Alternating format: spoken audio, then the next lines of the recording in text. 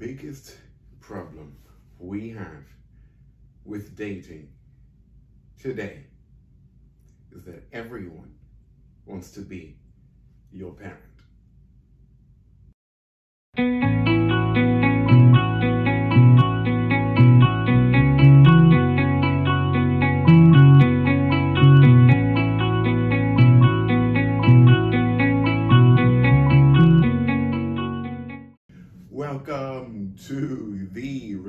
Relationship theory, everyone.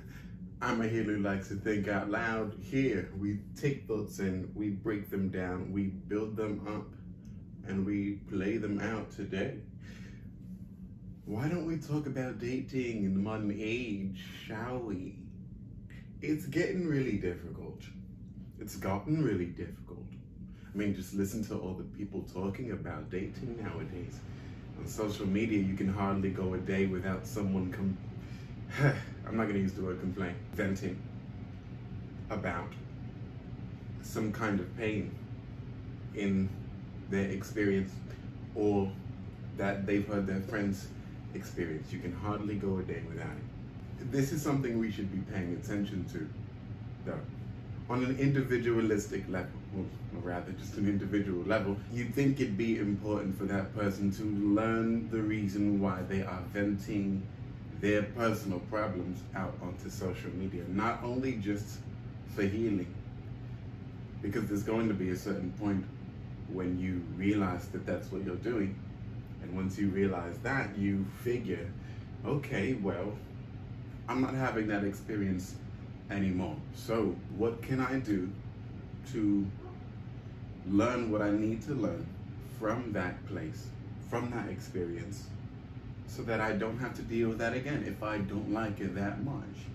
Otherwise, if I do like it, let me just keep doing it rather than talking about it. That's a, that's what we that's what I think about on an individual level. That's what you'd want to handle because that's what you bring to your next relationship. But there's more going on than that, you see. Our dating environment has it so that everyone is on this individual level of pain and expressing their pain and how hard it is and where they came from and their friends are going through so much and their boyfriend just can't ever seem to get it right, or their girlfriend just can't ever seem to get it right, or they're not treating me this way and they're not treating me that way.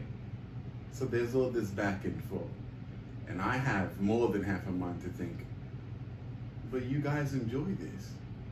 You enjoy this. You enjoy this. There's no way so many memes can be shot back and forth every day about the same topics because if you realize, if you look on your social media and you really look, you will see the same meme complaining about the same type of boyfriend from one friend to another unrelated friend on your same feed. So I have more than half a mind to believe that they really enjoy this. They really enjoy it's like a it's like a TV drama. But hey, I'm not here to talk about how they enjoy it. I'm here to talk about why people want to be your parents. What does this have to do with being a parent anyway? Well, it's very simple. Your parents teach you right from wrong. Most of the communication we we had with our parents came from that point of, oh no, you do it this way, not that way. Or rather, no, don't do it this way, do it this way we haven't had communication with our parents where they're just communicating with us because they want to communicate with us. They talk to us when they realize we're going to do something wrong or when they need us to do something right. And that's the most experiences, the most communications, the most connection that we got out of our parents back in the day. So when we grow up, and I'm sure if you guys heard this, when it comes to love, however your parents treat you, that's what you as a child interpret as love. Because your, your parents won't bother to say, oh, by the way, this is love. When I'm doing this, this is what it means. So your brain fills in the blanks.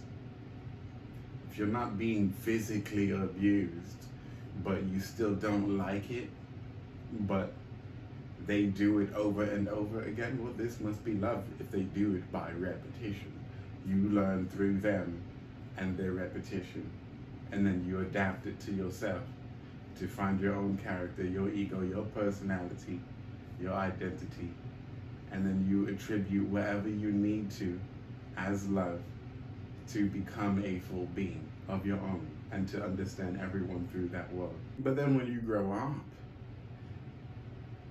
this is what you're doing to other people too. You won't bother to tell them, oh, I love you because I'm doing this thing. You won't tell them that. And they won't tell you that either. So you both are leaving it up to magic, up to fantasy for you both to interpret that love is happening between each other. There's no real connection. There's no real communication, not until they do something wrong. And then you're telling them, oh no, don't do it this way, do it that way. Where do you get that from? You get that from your parents. What do you, how do you interpret you telling someone, no, don't do it this way, do it that way? You interpret that, as giving love. They interpret that as receiving love as well. There is no space of communication. There is no acknowledgement of, no, this is really who I am and that's why I do this. You guys don't do that. You don't, you don't take the time to back up. You know, most of the time you need to back up and say, oh, by the way, when I do this, this is exactly what it means. Most people assume and want you to presume that this is exactly what something means. This has a really heavy tie-in with narcissism. It's not so much the need to be right, but it's more so the lack of acknowledgement that being right fulfills you. So when you find that in a relationship where you get to be right, you feel like you're loving them. But what you're actually doing is taking on the characteristic of a parent correcting a child, and therein you love them and they love you. So think about that for a second, everyone. Most of you are in relationships where someone is the parent and someone is the child. And you love each other romantically. Just really take that in, everyone. That is the dynamic we're living in. This is the biggest problem with dating in this modern age we have a parent-child romantic relationship between unrelated people. This is why energy, uh, for, for anyone who's a naysayer about energy, this is why energy is so important. It's still information. It's still a translation of information communication. It's still an interpretation of your own identity and how you find yourself through the things that you experience everyone is having parent-child relationships out here. So think about, think about those times when you interact with each other. Think about the times when cheating is in tow, when, when we have relationships where cheating might be afoot. Think about the relationships where you're not happy with your partner. Maybe they're not being enough of a child for you. Maybe they're thinking too much for themselves. Maybe they're not being too much of a parent for you and not actually providing what they think you need. Not only that, so we have a few problems when it comes to this. See, when you're a child, when you realize that you have enough strength as your romantic partner slash parent does, what you do is rebel. That's what you're going to do. You're going to rebel. If you find it in yourself to think you're just as strong as your parent, the romance isn't going to be there, or rather, the romance is going to be built into the fact that you think you're stronger than your parent.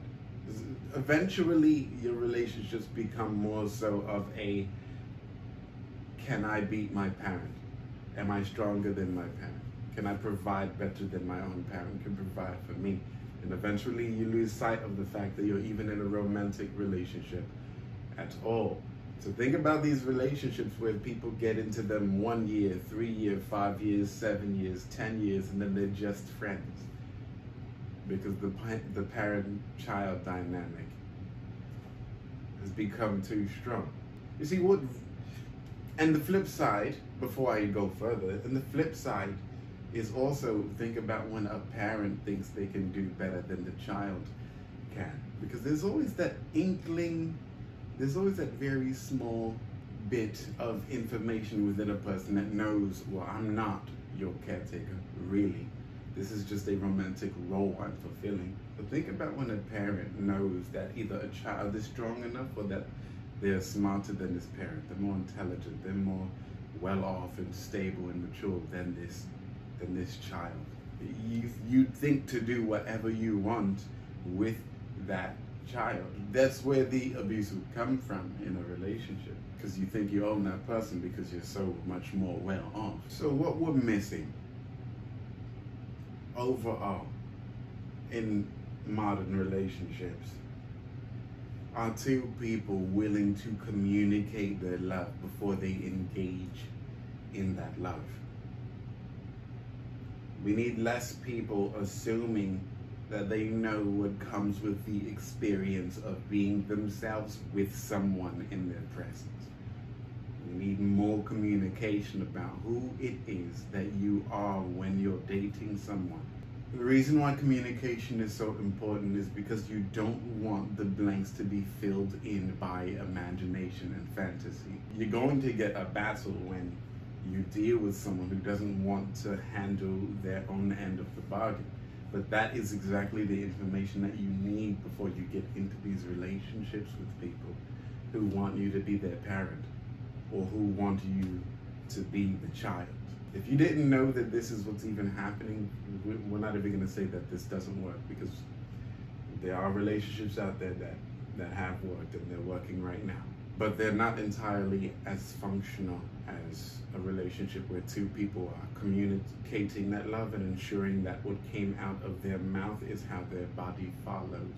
You can get the very same result. You can get the very same power and understanding and connection conversation and communication. You can get the best out of your relationship with someone if you can communicate what it is that you're bringing into a relationship.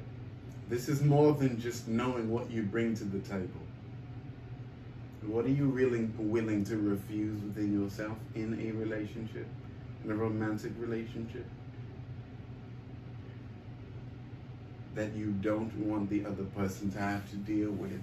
What are you willing to hold up on your end of the bargain in this relationship? What are you not willing to pass off to someone else just because your parent treated you the way that they did? What are you willing to hold and keep within yourself to make you a better person so that this person can the person in the relationship with you can experience you as that better person? What are you willing to keep within yourself and to shine the light on to grow, to be the most amazing lover you have ever given to the world and given to yourself as well? That's going to be the episode. The biggest problem in the dating world. All those parent-child relationships that are going on out there, those energetic parent-child relationships. Hey, look, if you're watching this video and it makes you uncomfortable, that you realize that this is the kind of thing that's actually happening in your world, well, it's time to have a conversation, isn't it? I'm a healer who likes to think out loud. Be sure to follow me on Instagram, The Relationship Theory. Facebook, I have a page, The Relationship Theory. And give this video a like. Enjoy.